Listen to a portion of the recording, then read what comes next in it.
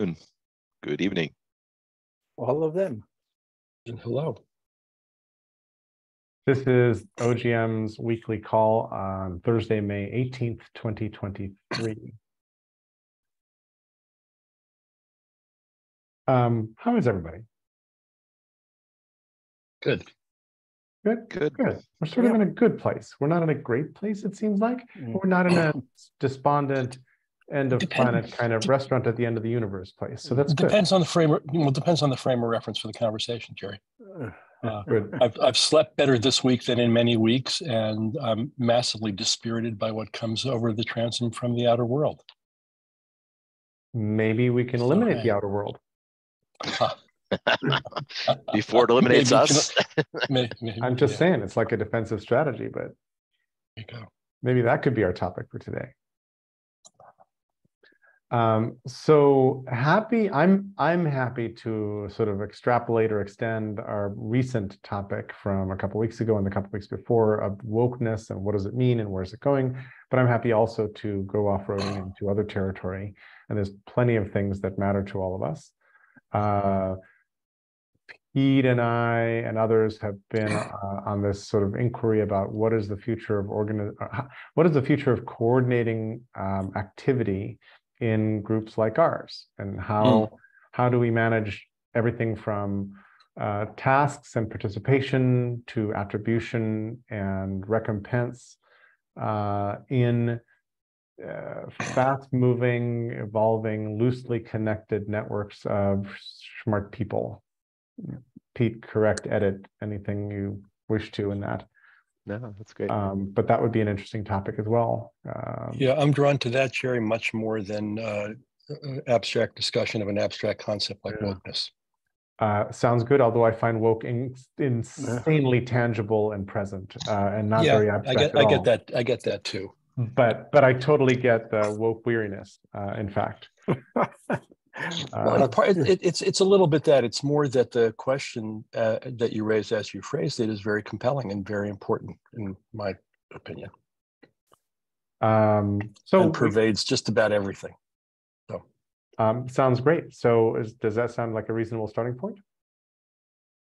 We have slight nods. Okay, Yep. good. I'm gonna I'm gonna do the hand wave thing just because I like it. Uh, cool. Uh, who would like and Pete, if you would like to like monologue for a little bit about how this fits for you and what you're trying and what you've seen and, and what you think and what you've built and Earth, Moon, stars and Can, can I do. just ask a question before we get started? yes. Has anybody uh, been in contact with Judy Benham? I've emailed her a couple Mm. times. I haven't heard back. I noticed she hasn't Mm. been on the calls. Just want to check in, you know, see how she's doing. And anybody been talking to her lately? I have not lately. No. Okay. Thank you. Sorry, go ahead, Pete.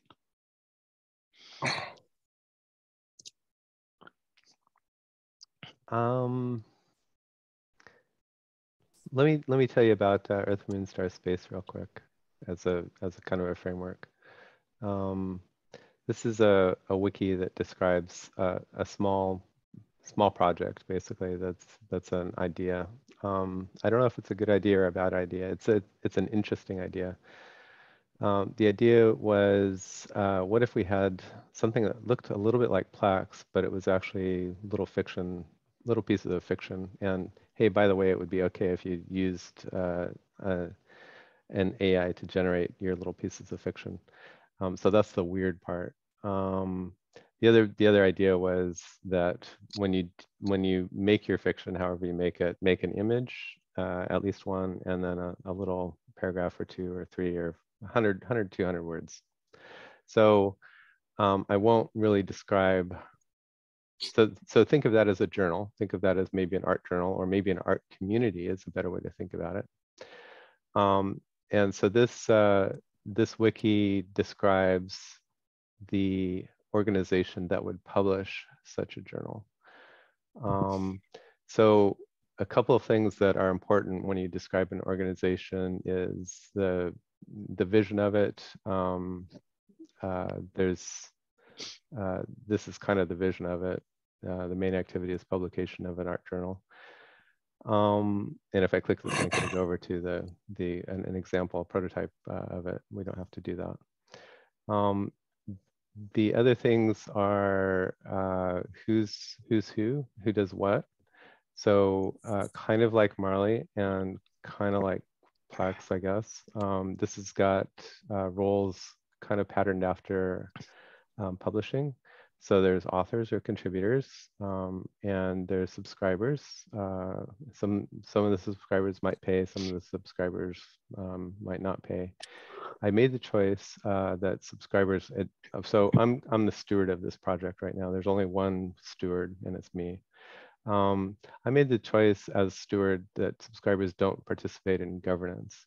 So the two things that that um, that role people can can push on. Um, they can participate in governance, decide what the project is doing, and they can participate in profit sharing.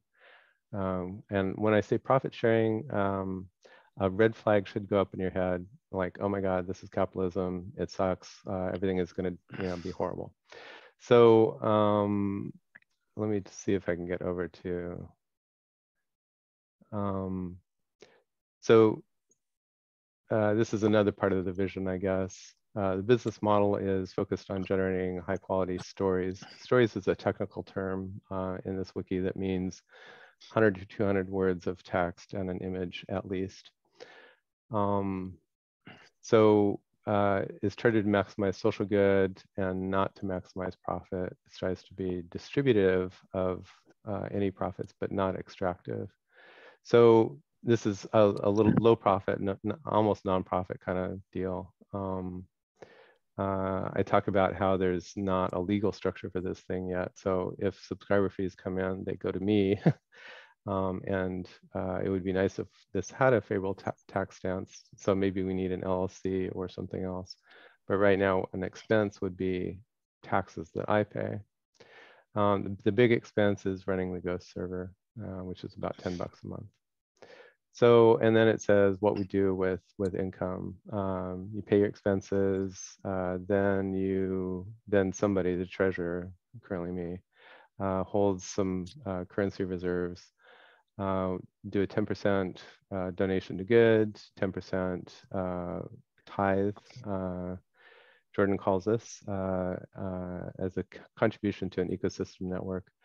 Um, I mentioned Jordan. Jordan uh, and Lionsberg are contemplating themselves as being an ecosystem network, uh, an organization, a, a, a, meta organization that helps a bunch of tiny uh, organizations work together and have things that you need as an as an organization. Um, bigger ones, this one won't need it, but bigger ones might even need things like HR or legal help or or things like that, or especially uh, participation in a in a network of you know other teams that do all kinds of stuff. Jerry, you're muted. Thank you. Sorry. Um, Gil asked in the chat for a little more context for what you're doing because you've gone straight to details of a particular uh, instantiation of a community or collaborative project. Um, do you mind weaving a little bit more texture from the high level down to here? Yeah, I mean, and, and, and, and also Pete, you know, I mean, Jerry posed a, a very broad and general question. Here we are in a specific project. Is there a particular ask that you are making of us or why, what, what, I, am kind of disoriented. Yeah, thanks. Um, thanks, go Yeah. Um, it turns out uh, it turns out to be an interesting thing. I've I've been working with uh, and and and I apologize for kind of a rough entry. Um, uh, I'm this is still a new project for me, and so so this is an example of um, uh, an autonomous organization, and an autonomous mm-hmm. organization mm -hmm. has a couple classic kinds of things that it wants. You want to mm -hmm. describe who who does what something that we don't think of as of usually for little projects is is describing the nuts and bolts of of you know things like assets. This this thing has mm-hmm. very few assets, but it has assets. Mm-hmm. So let's talk about how those are owned and stuff like that. Um, so in in a sense, um, and maybe I can stop screen screen sharing.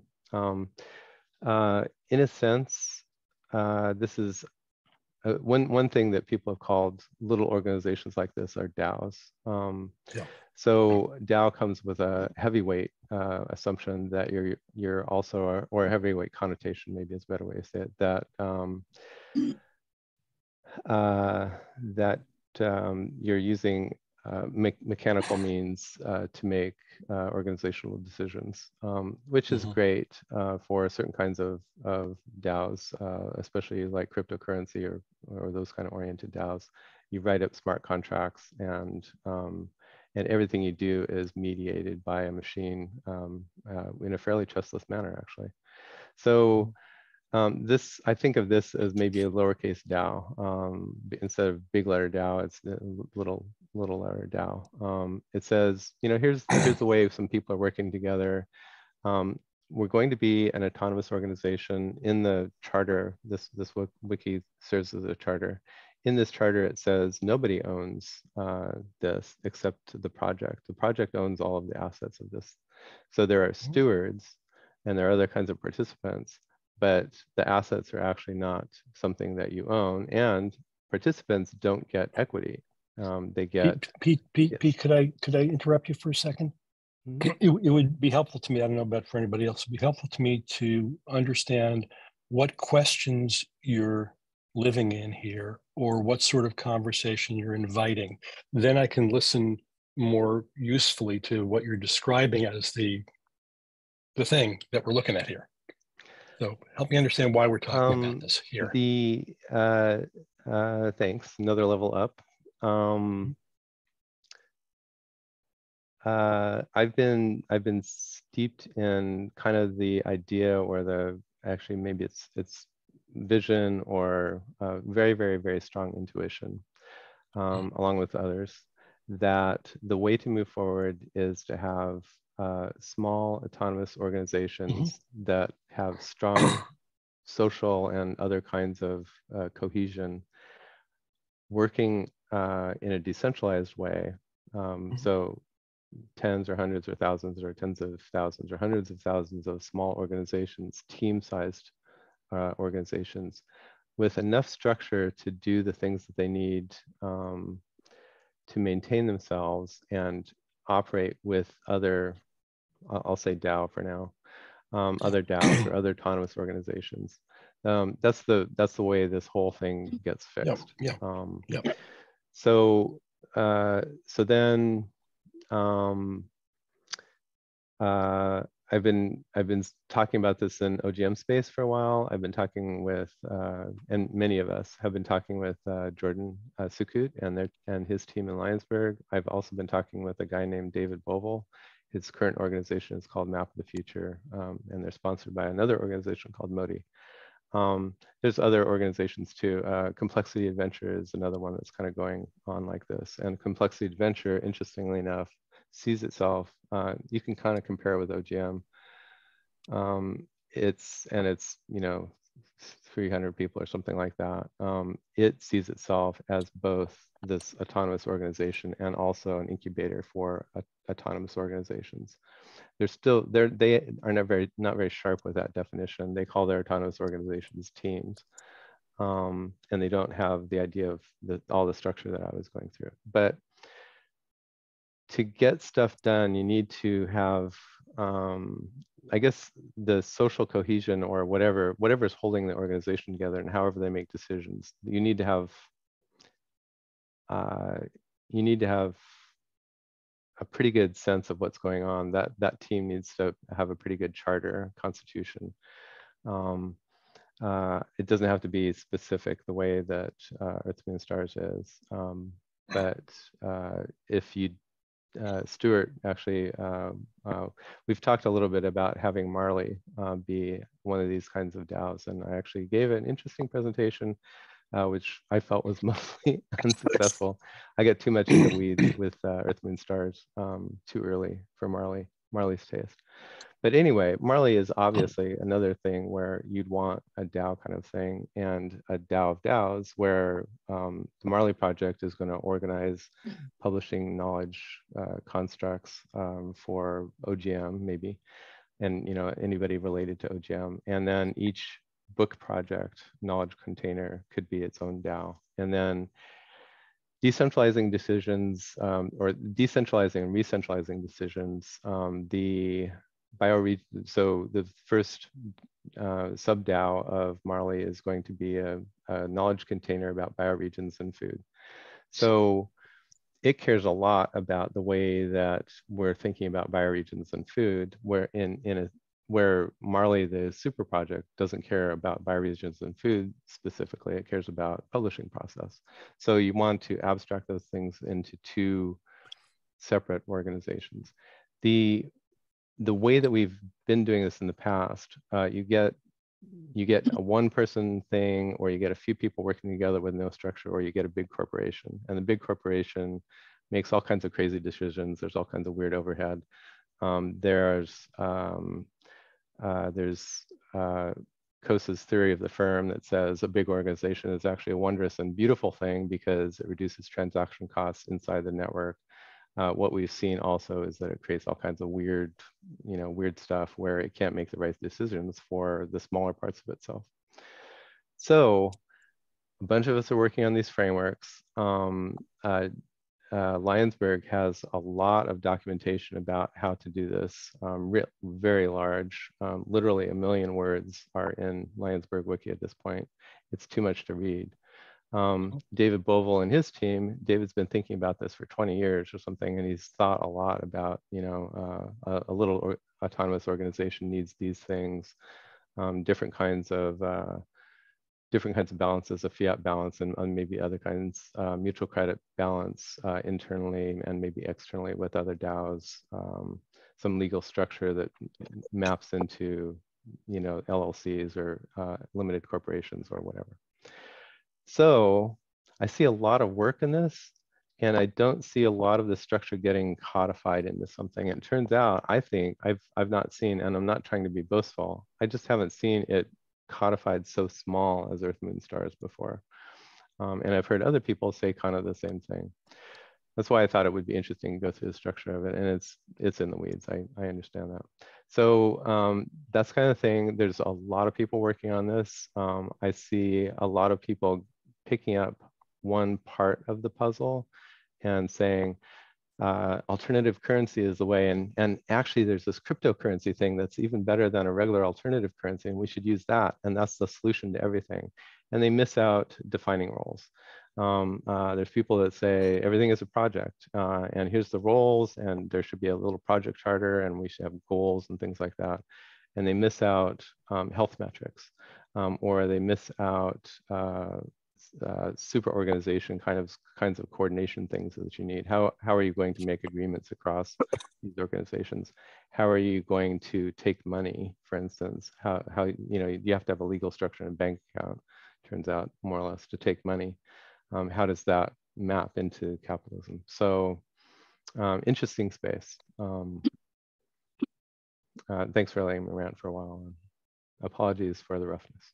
Um, thanks, Pete. Uh, I want to, I know Stacy would like to jump in for a sec, but I want to quickly crowdsource um, the, I think Gil's request for what are the questions you're looking to answer is good. If everybody could just type in what questions we think this kind of work is answering just into the chat, just spill them. Uh, I think that'll that'll be helpful. So let's just do that for a minute real quick. Um,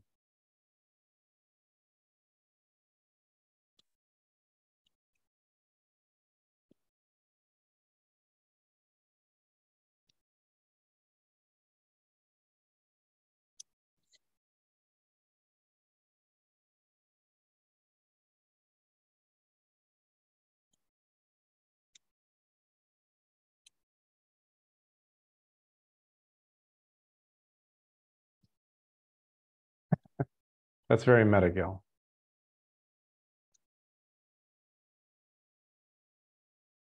Um, yeah, but it's it, it, it it's serious because I, I maybe it's just me, but this has felt like a very uncharacteristic Pete Kaminski riff. Huh. Very different structure and mood to it than what I what I'm used to hearing from Pete. Interesting. Um, which which suggests to me that something's got you, man. There's something important in the behind this that has that has got you in a way that is not not just the explicit structures that you're laying out, but it's, something's got your attention, your heart, your passion in this that I haven't. I don't know what it is yet. Yeah, um, I'm, I'm going to. That, I, sus- that, I sus- that I suspect is giving rise to a very different kind of of layout of the story from you than I'm used to hearing from you. I'm not saying that as a criticism at all. I'm kind of fascinated and, and perplexed and suspect there's something more there to get at than what we're hearing so far. Yeah, I'm going to echo what what Gil said, and the, the question that I put in is, what is Pete searching for? And and and yeah. that's what I'm curious about. What's what's driving what's, like what's driving this? Mm-hmm. What are you looking for? Um, I'm looking for um, I'm looking for uh, uh, manageable templates for organizations.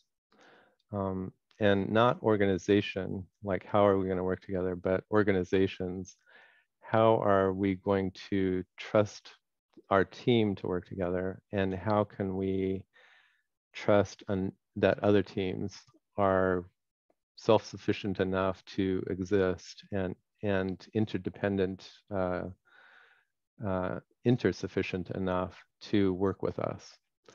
So, um, so I know that I'm good at doing stuff and I'm good at doing very specific things and bad at lots of lots of or you know not skilled at, at a bunch of stuff um, mm-hmm. and i think all of us are in that same boat and mm-hmm. so how do we how do we take the existing best, you know, best, uh, so the, the best technology we have right now for organizing people and getting stuff done is to have a, a corporation. And, um, and, and it turns out that the bigger the corporation, the better it works. Um, uh, in certain ways, yeah. It, it's um, Yes, in certain ways, uh, it's it's literally the fittest organization structure that we have. Um, so, uh, so even hmm. though it's maladaptive in lots of ways, um, the the large corporate structure where you have hundred thousand serfs working for um, you know a few thousand managers and um, and tens of thousands of shareholders, um, uh, it's it has to, you know that that form has taken over the planet and does horrible things to it because the maladaptive ways it works are really dangerous right? They we've decided that they have to be chartered for profit. Um, they have a fiduciary responsibility. Literally it's illegal for them not to try to extract as much as they can and return that extraction back to their shareholders. So it's an interesting, uh, interesting form of organization, um, and it's been super productive in some ways and super, super, super destructive in many ways, as we all know. So, how do we how do we outcompete that? Um, what's what form of, of organization helps people make better decisions for um, for themselves, for for people people and planet profit is you know maybe something that you don't um, don't want uh, to be a, a, super big part of you don't want to codify. And i you know the i think so you've so, some of you heard my my super organism theory that uh, individual people have this idea that a corporation is kind of a, just a big human. Um, but i think it's i think it's an evolved structure um, uh, built out of many social structures underneath it that has decided that um, you know hey if i get bigger i get i win more. And uh, kind of like a super brain it has decided the rules of the game right? Um, profit is the most important thing because profit helps me grow bigger and then I, I win more and i keep doing that. So how do we you know how do we as humans construct ourselves into teams that can consolidate into teams of teams and teams of teams of teams into something that can move more agilely, move with more consonance with reality, um, and slowly eat away at these these big corporate monsters that have taken over our lives. Go ahead, Gil. Pete, thank you for that. What what would you like us to discuss together here on this call about that? Given that I mean you've laid out Um, a, it's a very big story. It's a good one. A lot there. What would be fruitful for us to spend the next, you know, uh, 65 minutes talking The- about? the leading edge of my my inquiry um, is maybe a way to to answer that. Um, uh, how can we how can we create essentially patterns, pattern pattern libraries, I guess. Um, how can we create pattern libraries that people can? Um, so I've been doing this for a long time. Um, uh, and I and and I have a lot of experience. Um, how can we transmit that kind of experience quickly to to a team? So I, I I hate it when I see a team of people trying to get together and to do something and they don't have a, a way to a, a way that has keeps coming back for uh, back to me for this. It's kind of like um, a team is kind of like a bunch of muscles um, and without the right skeleton for the muscles to pull against, um, the right internal framework, um, Mhm. You just get a bunch of quivering. You know, you can get a lot of Mhm, mhm, activity, but you don't mhm. get a lot of action. And so, how can we describe kind of a minimal skeleton, and how can we make that make sense? How can we uh, have a catalog, a library of those? Um, how can you know how how uh, what what's so what's the minimum skeleton um Cool, how cool. how can we translate that lift and shift it to other people so that they they can have a running start instead of wandering around for a couple of years Gil, let me interrupt you just for a second because this Sure, is sure. becoming the Gil and Pete call, and I'd love to Yeah. have Stacy jump in. Thank you. Thank you. Thank you, um, thank you for your patience, Stacy. Sure. Um, if I could just read from my notes what I was going to read at the Marley Project, which is a space that I feel like I've been given both the invitation and the legitimacy to lead. I want to just address some of that. So, what the first few sentences about organization, which I'm very interested in helping to design, says this DAOs are like constellations each member is like a star that can be drawn into many different constellations. So that's drawing on, I'm going to just use your sun, moon, and stars theme because it fits into what I've been envisioning. And I start with something that's called a cell. It's a cell member brain. And I won't go into all the different parts of it, but it is very basic because I use the KISS approach, the keep it simple, stupid. And my hope what I'm anticipating, being that I've been in the Meta project, I have been back in 2019 surrounded by people in David's constellation. I'm hoping that the Marley project can be a space that actually functions as a DAO with DAOs within it, both bigger and smaller. So within the Marley project, we have the food thing, which that project is considered a DAO. And I won't go into the whole organization of it because that's for the Marley project, but I just want to throw it out there that there may actually be another way. And since we're creating something new, rather than use an existing system that we know has maladaptive principles and trying to fix that, maybe there's another way and I draw, I put it, what I put in the Plex, I specifically mentioned people's work like Stewart and Meg Wheatley and uh, uh, Sharif Abdullah, because those are all influences and threads that are within my thinking as well. So I hope anybody interested in the organization part within the kind of Marley container that I'm looking to present will come to the meeting. That's my piece.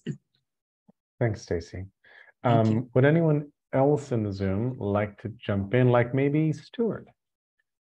Yeah, so what what what this call is evoking from me is um when I was practicing law, uh, people would sometimes come and say, uh, we want to form a corporation. and my response was always, well, go create something that's doing something, and then we'll look at it and find the right kind of organizational structure for it. And in some ways, you you you do get to create the kind of organizational structure that you want, whatever it whatever it happens to be. I mean, that's the kind of one of what I think is the beauties of of of the the the model that I presented. Um, even though you everybody can't see the nuance of it, but it it it it it's the container that holds how it is that people want to work together, and you can create that. Um, you know, very very fresh. Anything you want. There's there's nothing you have to put in or not put in. Um, I, I, also mentioned earlier uh, in the chat B Corps. Um, you know the B the B Corp movement in terms of looking at triple bottom line and and things of that nature. So it's it's not like you know corporations are this uh, big ominous bad guy, and they've done a lot of bad things because of the articulation that Pete uh, mention that, that the, the legal requirement to drive um, profits as the as the raison d'etre of, of the corporation. Um, but yeah, um, create a structure that that that that works for the particular entity, whatever it happens to be doing. Thanks, Stuart. Klaus?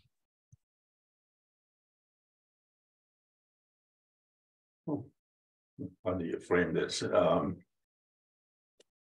see, I'm I, I'm a I'm a product guy, right? So so um, my my my my thought is that, uh, and this is basically repeating what Stuart just said. You have to have a product, and you have to have a market that you are that you're trying to uh, approach and address, right? And then you uh, focus on shaping this product into a certain state of recognition. What is it now? Uh, what can it be? What is what is its potential? And then you develop the organizational frame that you need to bring it to fruition. Uh, and we have an astonishing uh, uh, uh, volume of discussions on structure and organization and you know, handling revenues that are not uh, apparent at this point and you know all sorts of things but we really don't talk a whole lot about the creative intent here now and and any kind of product requires intent the creative intent and that needs to be formulated explained right so i mean i just threw out some chapters for a potential book on bioregions and you know, what it could be, where it could be going, but this may be the wrong direction, right?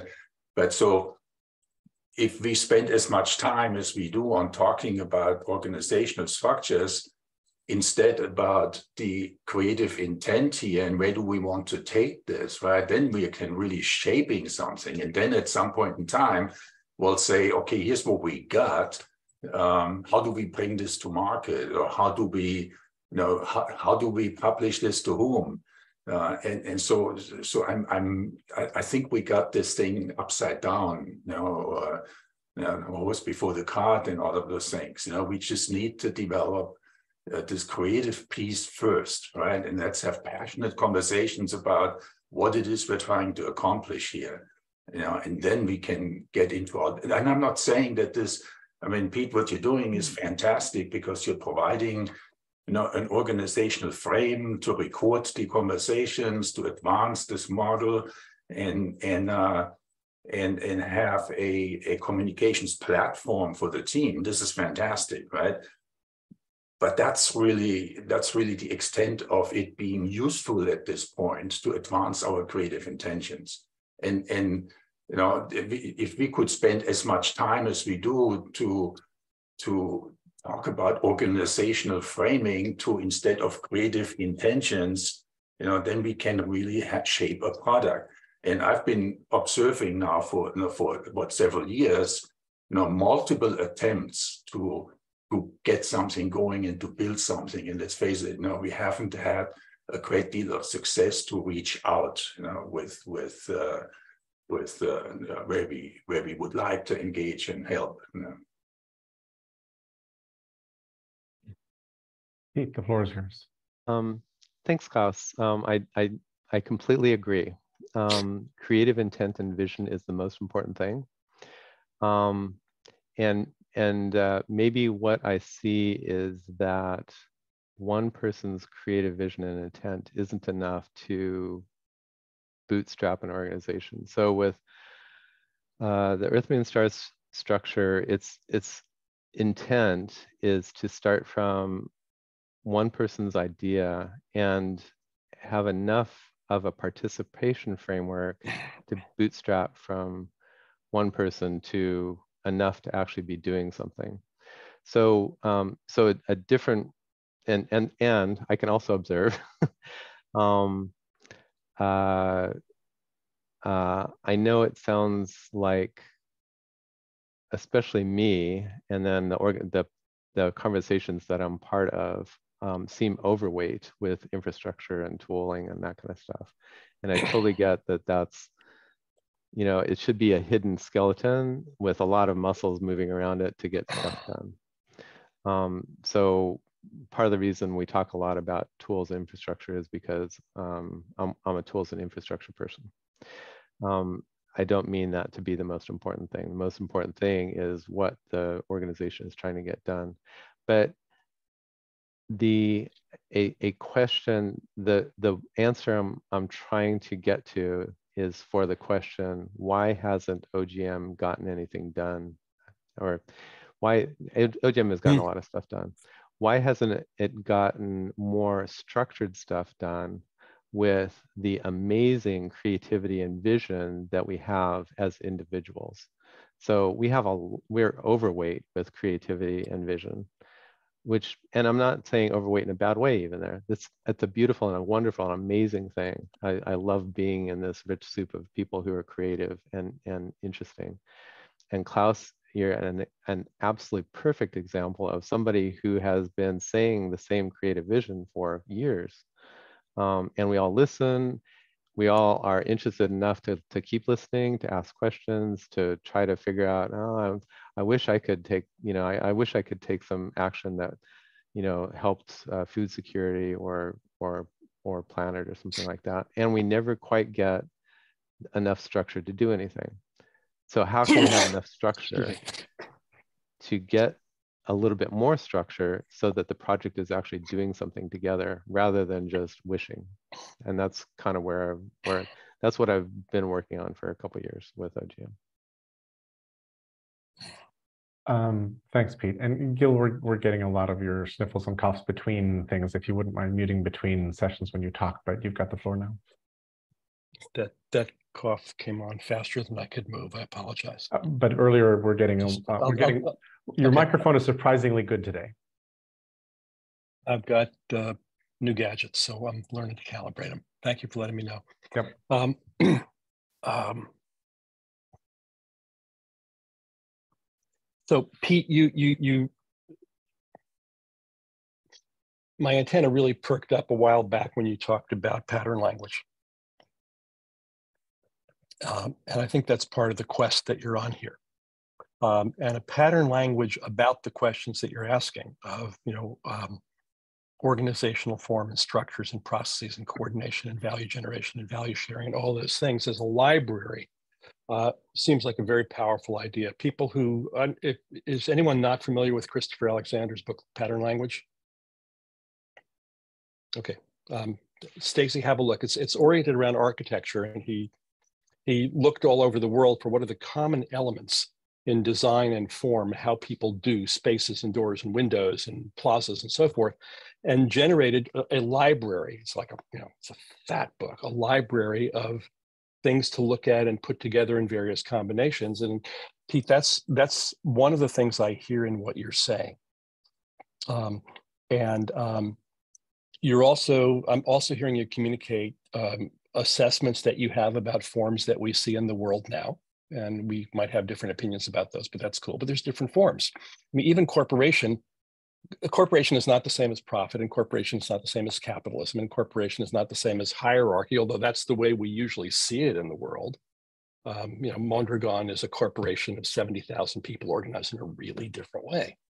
Um, and there are other examples of that. And so, um, you know, it seems to me that the that having a pattern language of the stuff that you're talking about is a really powerful stone dropped in the pond that can generate all kinds of ripples and creative opportunities for people rather than just you know um, you know uh, duplicating what all what's you know what's the norm or wondering what to do or you know kind of experimenting at random all the time. We, can build on what each other has done if we have a language to share about that. So i think that's that's really uh, a, a, a cool and interesting opportunity to you know and you've done that to some extent with the earth moon stars thing is try to pull out some some generalized elements. Stewart's got that in his 10 elements and there's strikes me there's something to build out there which i'd be interested in playing with. Um, um, and I, you may know some folks may know that i've been paying a lot of attention to different organizational forms and cooperative ownership of business enterprises um, uh, to get at one of the things that's often missing in the pattern library is um, how is people come together to do something and it generates value. How is that value shared? Um, and is it shared broadly or narrowly? And I think that's one of the problems we have now. To your question of why hasn't OGM gotten anything um, more structured done, maybe it's because we don't want to. Maybe because we're oriented around other things as this group. I mean, the, this is a group full of people who are getting stuff done in other conversations. This conversation, as long as I've been involved in it, seems to be a conversation about the conversation, not about actually getting stuff done. And that's not a criticism, but it's, you know, it's what I see. Yeah, I'm done. And I will mute Jerry. Thank you for the. Thanks, Gil. Stacy. Thank you, Gil. If I could just build off of what Gil's saying, because I also want to address that. Um, and there is there is an element of that i think into maybe certain i'll just say hank puts in the chat that they're somewhere where was it? We're overweight with creativity and vision. And i just want to say and i don't want to say in men's group because i'm trying to so I, I in my i call it an fm frequency which i'll explain in marley. But in the fm frequency it just feels like there's a lot of people and they're designing the coloring books but they want to give it to everybody all colored in already. And we don't want the coloring books colored in. so I just want to get that on the record. Thanks, Stacy. Thank you. Um, I like that analogy a lot. Um, a, couple things. Some of you have heard me talk about the next two stacks, and Gil, I'm trying to go back and address your bigger picture question here.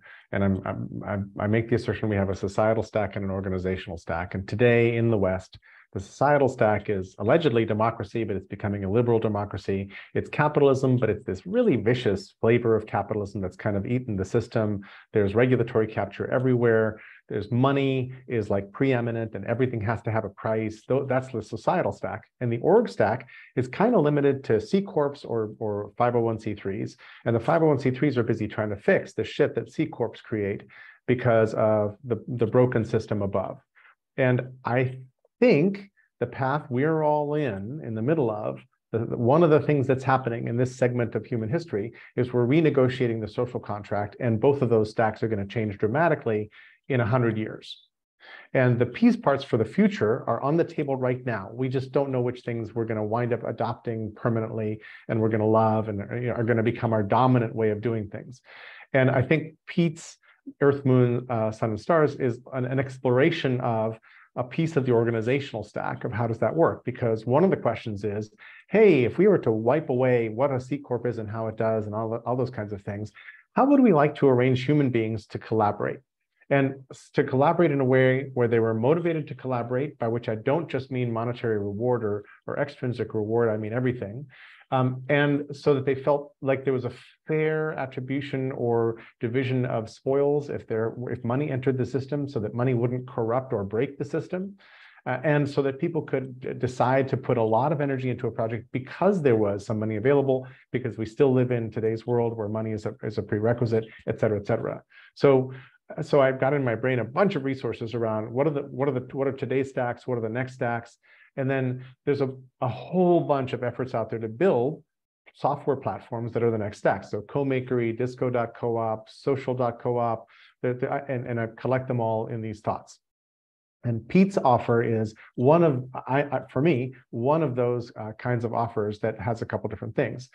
Then B Corps are just one of many different uh, legal arrangements, and there are, and, and, it's it's a much more humane legal arrangement than a C corp. Uh, but there are others. There are uh, public benefit corporations. There are there's a series of little sliver, and all of these have almost no market share. They have not eaten the brains of of capitalism and Western thinking yet. Uh, they are tiny little. They're basically the mammals under the dinosaurs' toes. Um, and my hope is if I had a magic button I could press, I would be like, hey, I'm going to force all C corporations to go become something like B Corps or public benefit corporations to remove their their forced desire, their, their, to remove their, their mandate to suck all the value out of everything they touch every, every time they touch it. Because hedge funds right now are destroying nursing homes, destroying all kinds of stuff because they, they, they see money floating around. They're like, ooh, how do we suck that out of the system? And, and in so doing, they ruin uh, a whole bunch of really interesting things that need to exist in the world. So I think they're mostly kind of predatory and not that helpful. And they're some of the big exemplars of capitalism. So one of the things that's coming to mind from watching our dynamic in Marley and in OGM largely spoken is how do we get just-in-time structure? So that somebody says, hey, let's put on a show. And if they were to do the show all by themselves, they would need no structure and they would put on some kind of structure that they're accustomed to. They'd be happy to do the work because they're passionate about it. And maybe they'd try to sell the work at the end, but they would own the work because they created the work and that's great. But we're trying to collaborate. We're trying to get more people in. And an important thing, if we're going to create, for example, the quick first book is the moment somebody who's busy participating and deciding to put a lot of energy in says, hey, how do we do attribution on this and what intellectual property regime is this book going to be published under? Or the moment the moment some of those questions come up to important participants in the group not just peripherally and also i think maybe not just ex ante because this is the best thing to do because I, I like what Stuart said earlier which is that the structure that's best for the project will emerge from the project as the project is built. If I'm paraphrasing you poorly, uh, correct me. But but basically, how can we be just in time about this so that as we and when you have collaborators, the first thing is, well, where are we going to collaborate and how are we going to use this? And those are platform decisions. And we've been facing, we've been doing those all along, and those are pretty, you know, we're pretty comfortable with because we have platforms we're used to. So that's kind of unconscious uh, as it goes. But I, I think that finding a way to mesh the need for structure with the, the growth of a project as it kind of emerges and gets more complicated, and as people jump in who have important questions that, are, that need to be addressed, I like that model, and I've not seen it done well or anywhere, but I, I would be really happy to, to be in a community that's doing that. And also, once a community has figured out what its platform is and what its general ground rules are, then a lot of these things are just givens. They're default settings for, okay, we're going to do a new project now, and we're going to use the same default settings as we did for the last three projects, and we're, we're off and running. But we're at a period now where we're renegotiating how all this stuff works. So we need to figure out how this new thing works until we get settled with the new platform we're going to really like. And then the last thing, I love pattern languages and pattern libraries, and I like Pete's distinction between the two. I find pattern whatevers, pattern L's, to be a beautiful way to share distilled uh, wisdom. That, that's what I think of a pattern library or a pattern language as. It's like, how do I distill into the fewest words the essence of a thing that's important for people to understand, to level up their behavior in democracy, in facilitating meetings, in uh, uh, soil fertility, in whatever else.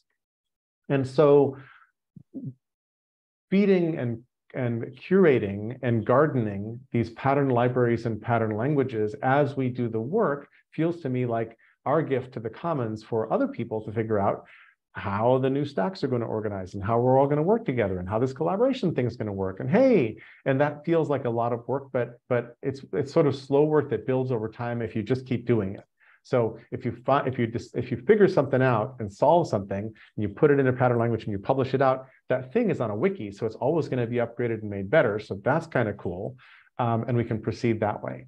Um, and I don't know what I wanted to say. I'll go to Doug briefly, and then back to Gil and Stuart. So earlier, somebody said something about uh, that we are top heavy with creativity and lacking in structure. I think it's the other way around.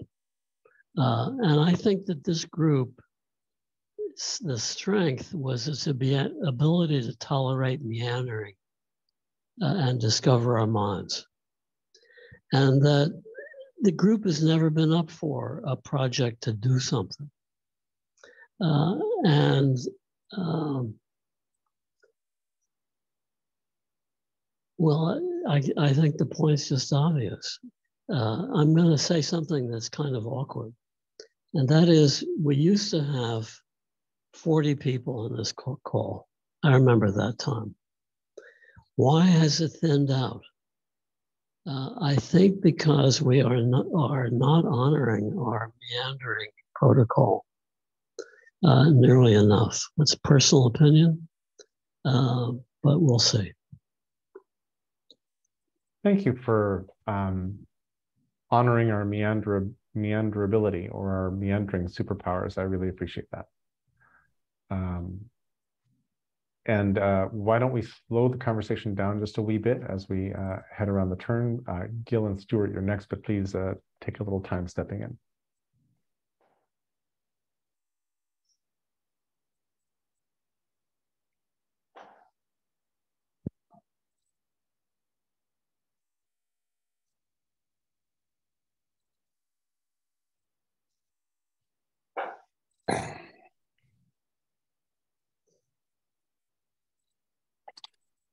So I I mostly come to this group for meandering. Uh, maybe that has to do with when I showed up and what was going on then and what I've experienced here. But that, I find I experience this group as mostly meandering with projects and stuff getting talked about. Uh, but I love it uh, and I value it deeply. And, um, you know, I've got a potential conflict every Thursday morning and I've pushed the other ones away because I love being here with you all. I didn't, I don't think I was ever here when it was 40. Um, so that's an interesting question, Doug. Um, so um, yeah, and meandering and creativity, meandering is a deeply important part of creativity and getting stuff done, actually. It's a deeply important part of the highly structured getting stuff done. So yay for meandering. Let's have more meandering. That said, back to the question of just-in-time organizations, Jerry, thank you for the riff and rant and enthusiasm that you, uh, you know, clearly displayed in that um, seems to me that just in time structures are going to happen better if there is a pattern library or pattern language or shared set of stuff that the people coming together for the just in time organization can draw on. Because otherwise, they're either going to make things, spend a lot of time making things up from scratch and, and not drawing on shared knowledge. But maybe more importantly, um, there's going to be a poverty of what's possible. I've, I've carried for a long time a quote from Kenneth Boulding, who said that existence is proof of the possible. So part of my MO has been to show people, hey, here's something that already exists that you didn't think existed and you didn't think was possible, but it exists. It's here. It's on the ground. You could look at it. You can visit it. You can test it, evaluate it, see if it's right for you. Um, and the other, you know, quote that popped up, Jerry, as you were talking, was I think it's Mark Twain, maybe not. I mean, everything gets attributed to Mark Twain. That if your only tool is a hammer, you tend to see all problems as nails. And so if your only tool is a corporation, if that's the only thing you know about, if you think it's the only thing that exists and the only way that large, complex, deep endeavors can be done, that's where you go. Uh, and you know the, the the VC pattern language is a very narrow one. It's very effective for certain things, but it's very narrow. And so broadening the experience of what's possible, what works in which situations, what can be drawn on, I think is an accelerator for just-in-time structures. And, and what my friend Larry Peterson used to call no profile organizations. And, uh, and you know, weaving, meandering into getting things done in the ways that we really want, in the ways that we really care about. Thank you. Thank you.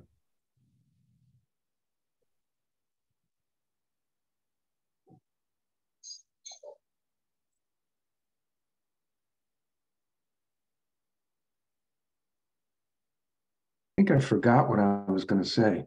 Um, but one of the things that I, I pick, picking up on what Gil just said, if we want to do anything, if, and I'm okay either way, uh, yes or no. Um, years ago, it, it, I, I wanted to make sure something got done. And for some reason, I've just moved off of that. And it's okay to meander with smart people. Um, but the the kind of the template for you know in time organizational structure is what I've been kind of offering up um, as a way of you know creating a structure for a particular project. The other thought that comes up was um, you know how do we trust in working with people because um, trust often comes up as a as a as a critical component. And my way of thinking, it comes up as a matter of experience over time, and it's not something that you can push the river on. You have to have uh, an experience of working with someone so that you can um, realize that you're on the same page, that there's a shared value set, um, um, and and and you know, trust is something that just develops from working together over time, being together over time. That's it. Thanks, Stuart. And I, I mostly agree with what you just said, but I think you can push the activities in order to catalyze the trust building. Yeah. Mm. But you can't order up trust. Right. Mm-hmm. That doesn't work. Trust is an indirect thing. And the moment somebody says, trust me, your little BS radar should be glowing, glowing bright red. I am not a crook.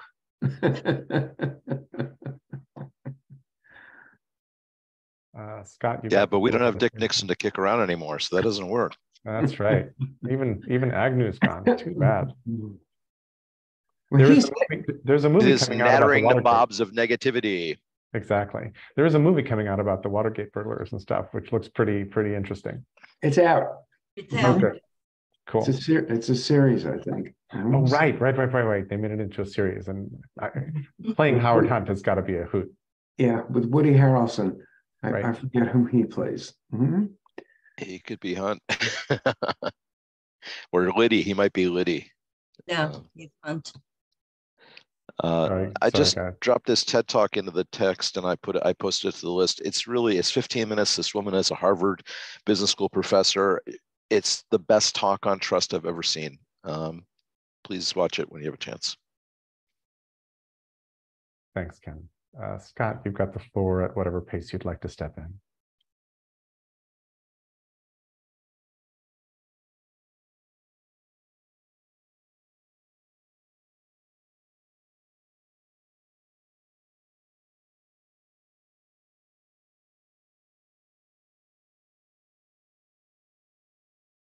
You are likely to need to unmute.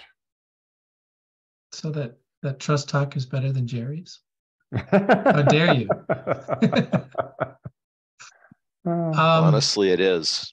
oh, damn it. All right. so um, I'm echoing Doug because I believe I was around towards the beginning of all this adventure back in early pandemicness. And I do recall the 40 people. Um, and I don't know if 40 is the exact number, but it was a screenful and more. You had to scroll to see everybody. And so I thought, how do I how do I provide a perspective on that? So I went back and at one point there was a question that went out. Let's see. Dated November 28th, 2020. What is OGM to me? And that was a, a prompt that was out. And and many of us chose to think about it and answer it. And i'm going to read what i wrote because it's probably the best way of, of doing this. And it's not very long. So what is ogm to me? Ogm is a live video chat with 10 to i wrote 30 so that maybe it wasn't 40 but 30 is still a lot a live video chat with 10 to 30 participants recorded for later viewing by anyone in which the participants share their love of exploring and connecting interesting ideas, people, and projects. It's facilitated live by Jerry, and each gathering dynamically flows between free ranging and focused as he gently guides the floor through his active intuitive awareness. A little stuff down here, another highlighted passage. It's the open, real time generative wisdom of the collective experience and imaginations of the participants. This is what respectful, engaging, thoughtful, open discussion looks like. And I remember at the time, this was again three years ago, a little less than three. This was the, the question to the group was what are we doing? What are our projects? Why aren't we achieving anything? And it caused a rift and we lost people. Now, they split off and all these little other groups started to started to form. And I remember interacting with a bunch of them um, who I haven't seen on this call in years. And then they kind of splintered off and went in their own ways. But what I remember was that, uh, similar to what I think Doug said, that was what, that wasn't what OGM was to me. Now, it might have been for other people. This is about getting something accomplished. And to me, it was about what I had said. It's the process of discussing things in an open forum and, and seeing what people are up to. People who are involved in some really cool stuff, might I say, you know, that I'm not involved in at all. And it was that, I don't know, it was just a really nice way to, well, as, as I think Jerry has said about the Twitter feed, you know, there's, it's like you dip into the, the river and then you kind of dip out again, you know, variation of that, right? And that's what this felt like to me. It, it, you know, it's not a it's not a job. It's something I do voluntarily. I take some time and come here because I'm hoping for I'm hoping to get something, you know, if somebody puts a link and I think, oh, that's kind of cool, or someone has a, a way of thinking about something that that um, I hadn't thought of before. Um, and that that's what I get out of it. Um, and so I, I don't know. I just wanted to echo that as another vote, not vote, another another perspective that seems to rhyme with Doug's um, and and many of you. Um, and I, I, think that you can have both of them. This this wanting to discuss and wanting to create something tangible and and make this into more. Um, but I, I see that as a it's a divide that has has always kind of been there because we keep talking about it. Um, and so at some level it's it's still there. And unfortunately, fewer people are interested in that just because of the numbers. That's only one data point. But you know, to to Doug's point. So that that's all for me. Thanks, Scott. Uh, Stacy, Pete, Ken, take your time. Thank you, Scott. Just to connect that to the meandering and trust. So I came in similar to Scott, except for me, it was an opportunity to learn from people who had a lot of experience and knew about things that I hadn't been exposed to. And now with the Marley Project, I feel like I'm taking that and finding a little play space where maybe I could design a combination that keeps the conversation and the social components that I was drawn to, that the people that remain here are drawn to, but move it into action. And the thing is, I don't want to do the thing. I just want to design it because I feel, to, to quote our past president in a good way, I feel like I know the best people. and and you have the best words. but because of who I am in particular and my internal makings up, that trust piece is built in to the with the people I surround myself with. So those relationships and the the understanding of that flow of trust, whatever it may be, is clear. And that's very helpful for at least my half of the part of the system I want to design. And mm-hmm. with that, I then know that I can then trust Pete to go and do that stuff. And I could trust Jerry to go and do that stuff and to overlay and overlap where the rest of us all have our pieces in all the different ways. So I don't know if that makes a hundred percent sense. I do want to say one more thing since I trust everybody here. So that you know about me, part of my who I am or whatever my role is requires that I hold many, many, many pieces of information all at the same time. And so what I've learned to do is I have to sort of organize using letters. And that may seem strange to people on the outside that don't know what's going on in my head, but that's like an organizing. So that's why, you know, if we have like the S protocol, or you were saying, you said before I smiled when you said um, something language and you said the L, you know, so just to have, so I just wanted to explain that and get that on the record. So I'm looking to being in Marley and meandering.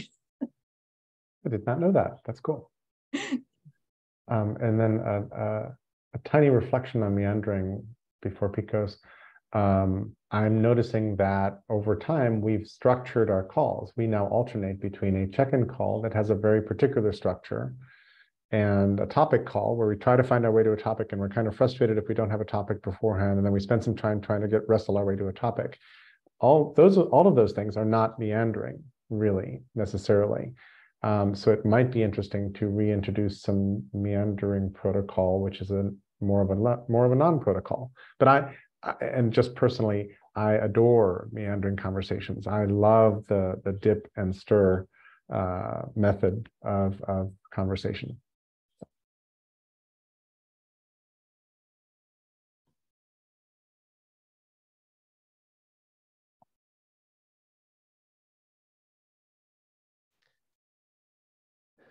Um, I love meandering too. Um,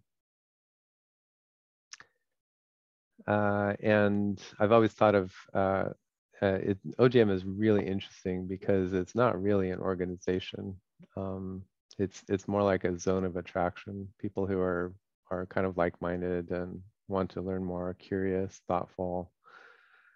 Um, I and I love that about OGM um, and I think it's it's superpower. Uh, there aren't many places where it's just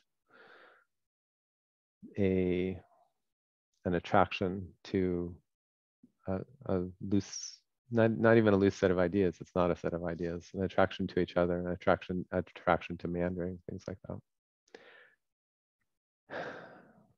And yet, I have to observe as someone who's meandered meandered with you all for a couple years um, I feel like there are some high points that we've all come to know about. Um, food security, um, uh, carbon, climate change. I know that some of us, well, some of us are very passionate about it, um, about particular parts of it.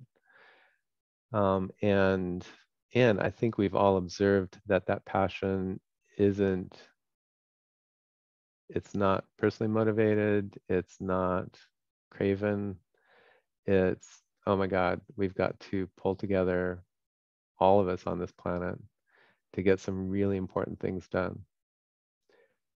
So while i would love to meander and just meander um, i think I, i've seen enough people in our tribe try to meander towards, try to try to move towards, try to stop meandering and move themselves towards a goal of a better planet and better people.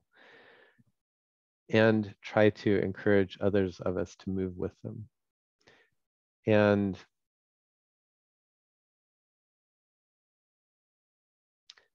um, I don't really care if OGM gets things done.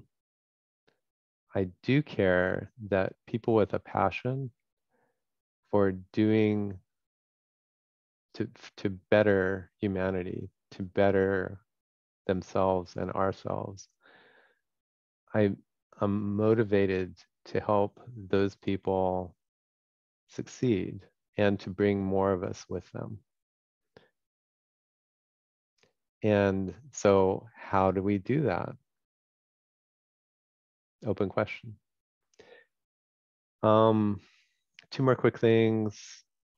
Maybe we used to have 30 people here because all of those 30 people or 60 people that we do a pool of 30 people um, uh, were uh, stuck at home because of a pandemic uh, and Zoom was their their outlet.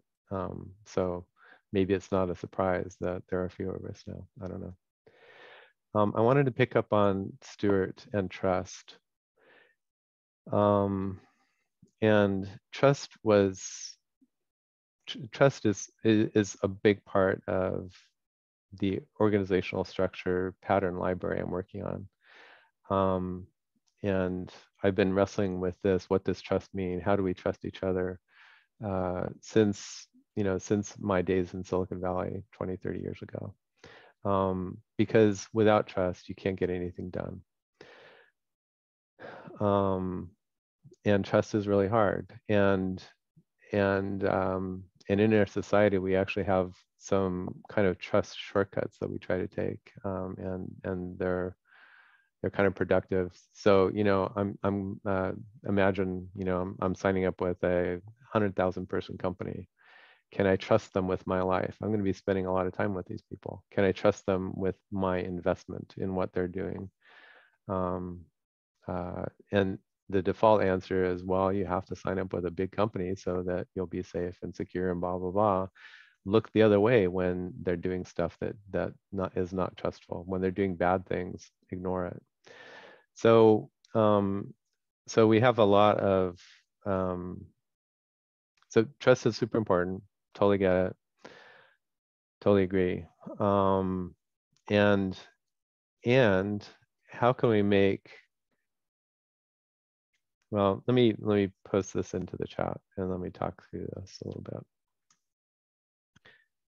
Um, having having formed many, many, many startup teams uh, over the years, um, a, a way to start a discussion of how are we going to work together is to say, huh, I don't know if I can trust you. I trust parts of what you, I like what you say, but I don't trust you completely. So you know, let's keep talking about this trust thing or whatever it means.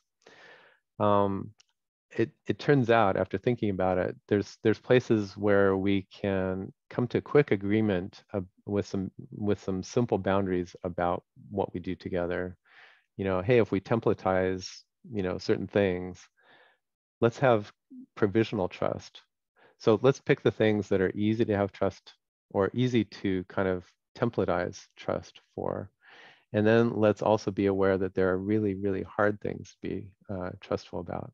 Can I be honest with you? Can I can I tell you something that I think will hurt you? Can I, you know, that kind of stuff. That kind of human trust isn't something that you templatize. But maybe if we at least kind of talk about the different kinds of trust that we'll need to to uh, uh, utilize as we come together to negotiate, to grow, and and learn the things that we can create a quick framework for, create those frameworks and understand that there are other things let's articulate the things where we need to grow. We, we can't trust each other until we've seen how we work in good times and bad times and things like that. It takes years to do that. So um, so just having a framework for how we negotiate this thing trust i m- early on in my days my observation about um, trust was people would say well i don't trust you or i do trust you. And then that, that blanket covered everything right? Um, it turns out that there's lots of lots of variability to trust and lots of different places that you need to trust people. And some of them are easier and some of them are harder. Sorry to kind of uh, repeat myself.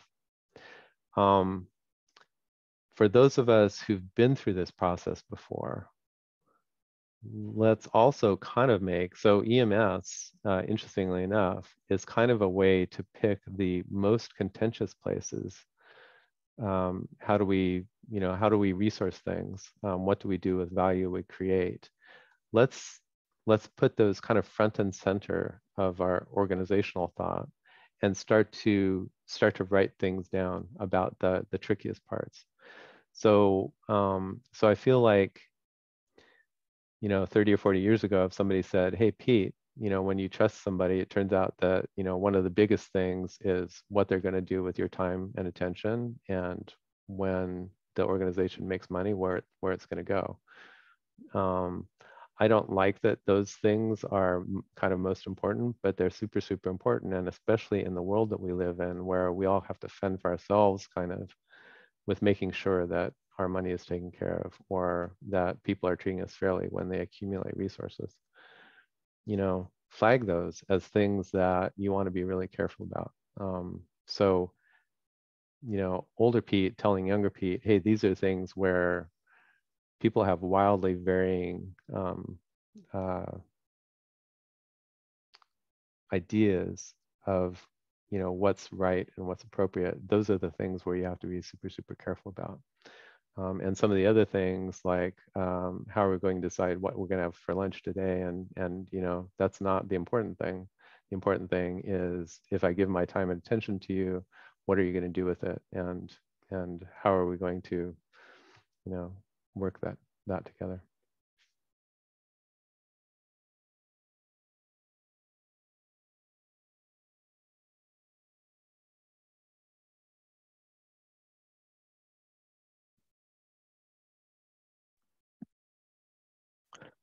started working with groups about 35 years ago.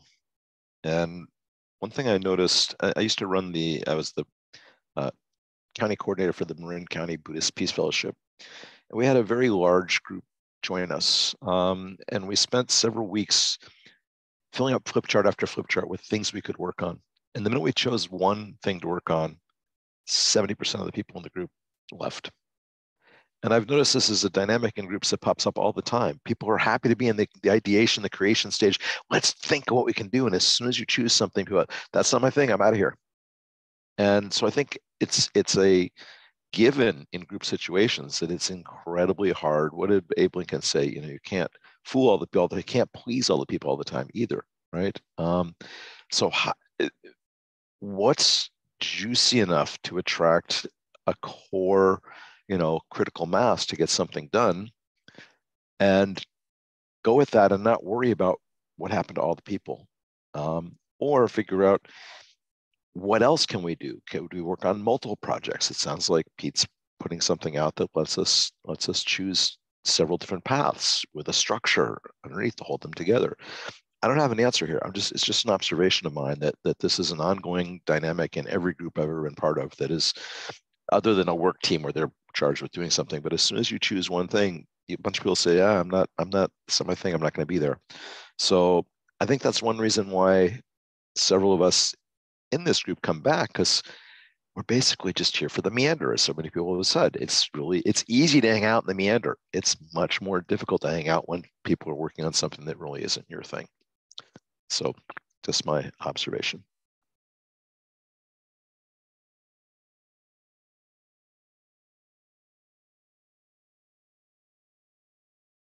Hank, the floor is yours whenever you want to step in.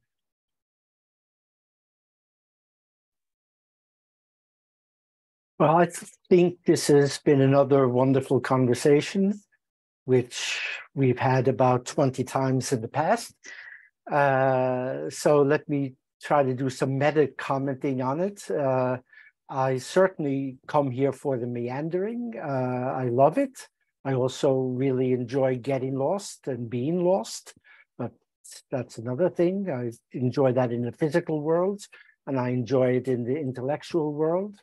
And I've never left an OGM hall with less energy than I had when I went into it.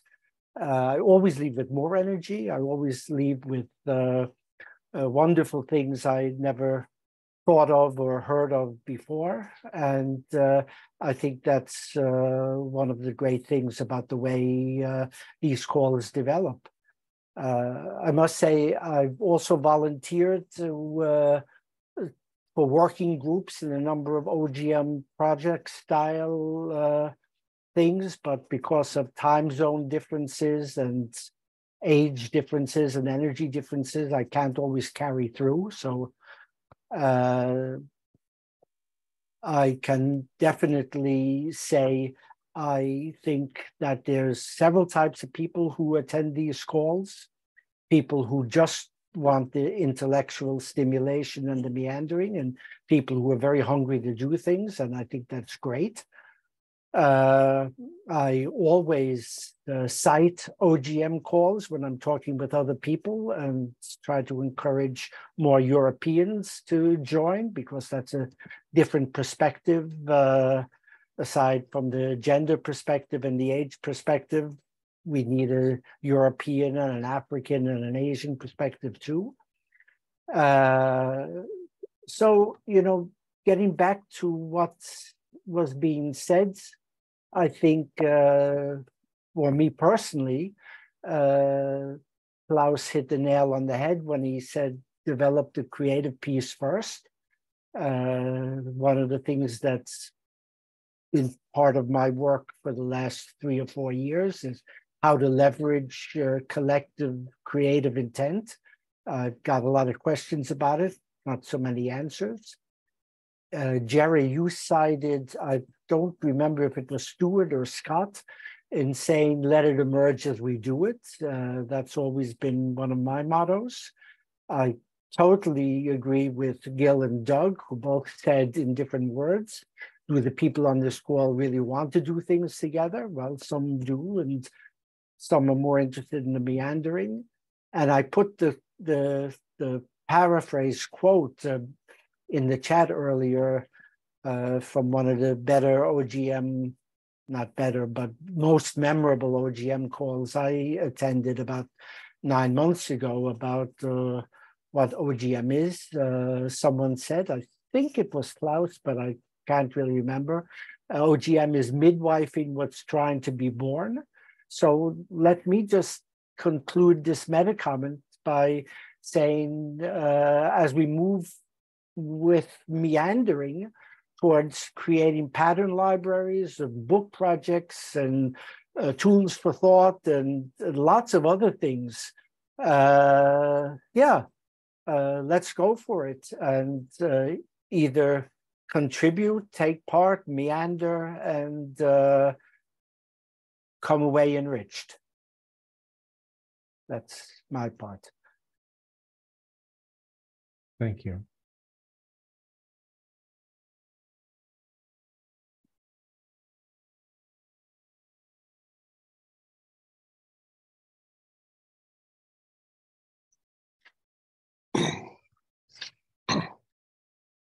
Let me repeat something that I said in the chat and then comment on some of the last couple of comments.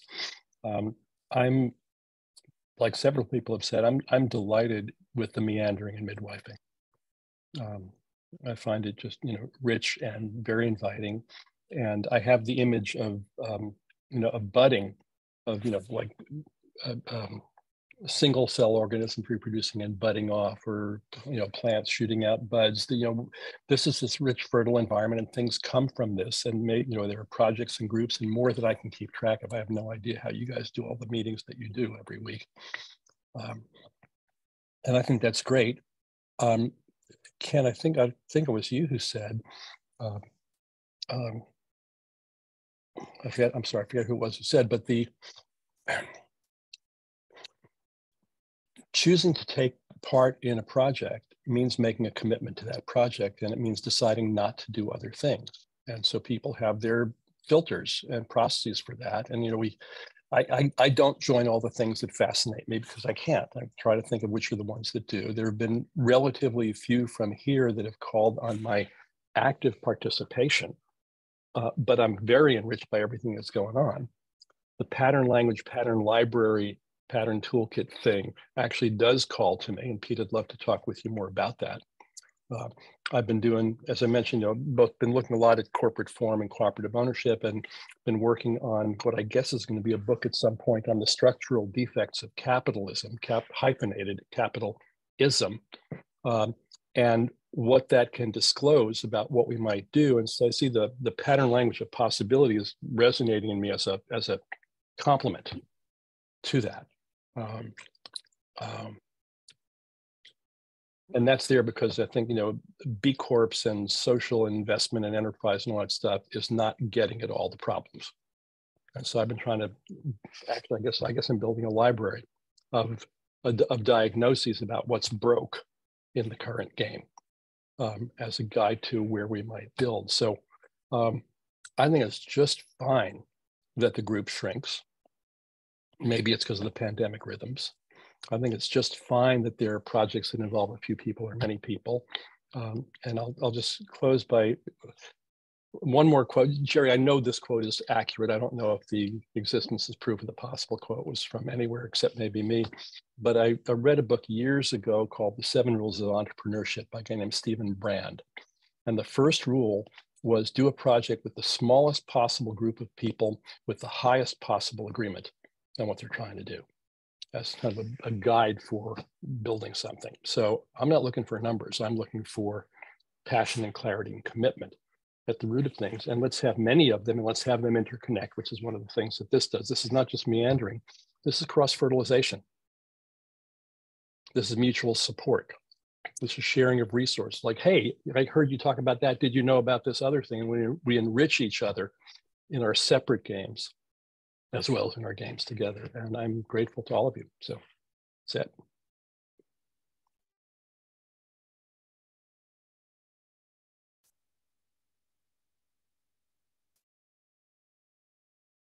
Thanks. I'm going to have to bounce right at the half hour. So either fold the call or I can pass it to somebody. I know that Ken usually has to leave at the half hour as well. So if someone else would like to keep talking, raise your hand and I will pass you the con as I drop off at the, at the half. Um, okay. And um, I put in polarity management in the chat and uh, structure is a lever, it's a design variable and we can add structure, subtract structure as we wish, but we don't, but but the choice of structure or not structure or goals or not goals isn't a binary on off, it's a polarity to manage.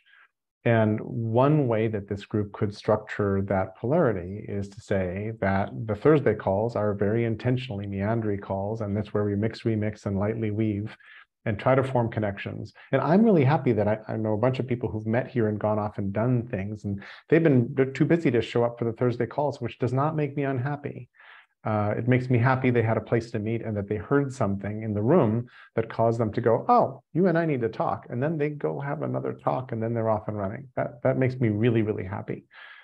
Because um, rubbing people together is something I've always uh, loved doing. Um, not in that other way you might be thinking. Um, and then and then the project calls, and Marley is the most projecty call we have right now, uh, aside from TFT mapping and a couple other things that are also very project oriented. Um, those groups can have agreements and and uh, and be much more uh, goal oriented, and that's a terrific thing. And I, I, and and to me that that means that people can choose which conversations to go in. And there's a bunch of people who show up for Free Jerry's Brain on Mondays who were never in the Thursday calls. They, they, they don't show up here and that's cool too. And they're part of the community and we're just, you know, tapping into it in different ways in different parts. Uh, I don't, I don't see that as a, as a big problem. Um, a reunion would be cool. It's a good idea, Scott. Thank you. What do you, what do you think about that? I think that'd be great. I'd love to see all these people who went off and did that stuff and come back and say, here's a report from the field because I have no idea. I love the idea. I love the idea. Um, cool. And uh, so I'm going to drop off in a sec. Uh, who would like the con as I fall off?